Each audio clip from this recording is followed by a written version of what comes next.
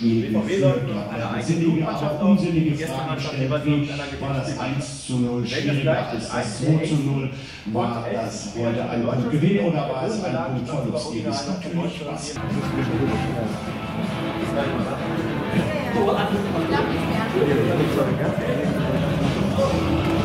Wo ist ja.